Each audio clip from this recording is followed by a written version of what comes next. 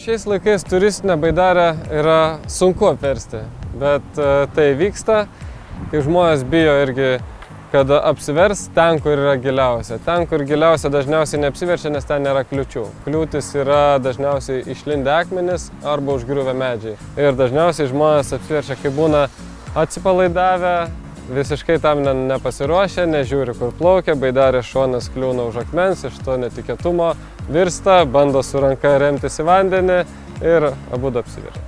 Su vienvietė baidarė yra toks didelis mitas, kad jinai labai greitai verčiasi. Jinai nesiverčia labai greitai, nes tu pats kontroliuoji viską. Tu gali ją praktiškai su klubais į kairę, į dešinę vienas pakoreguoji ir toliau plauki. Pirmiausia, reikia nepanikuoti.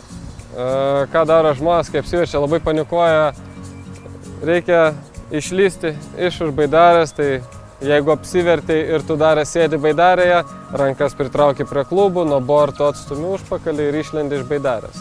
Pasi, jeigu buvai su dvivietė baidarė, pasižiūri išlindęs, ar tavo draugas išlindo, ar matosi iškišta galva.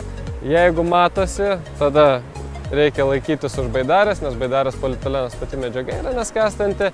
Ir jeigu pavyksta laikytis už irklo ir bandyti pasiekti dugną. Jeigu atsistojus jūs dugną nesiekėt, tada esant upėje reikia nusispirti iki kranto, nusiirti, nusirkluoti. Baidarė tuo metu gali būti kaip dalinis plūduras, visam, vis, jeigu jinai pilna vandens, visų svorio jos nesigulkit, nes pradėsit gramzinti, bet užmetus vieną ranką, jinai neskes ir jūs truputį plūduriuosit. Taip? Reikia baidarės nepaleisti dažniausiai, jeigu išeina. Jeigu neišeina, gyvybė visada yra svarbiau. Greta esantis ekipažas turi elgtis itin atsargiai, priklauso kokioje vietoje. Jeigu jūs esate ramioje vietoje, tada gali priplaukti prie išvirtusio žmogaus, jisai gali į netvirtusią baidarę įsikabinti, jokių būdų nereikia bandyti lipti, nes lipdamas į sekančią baidarę tu gali apversti ir dar vieną baidarę ir, ir tada visiems keturiems jau bus problema.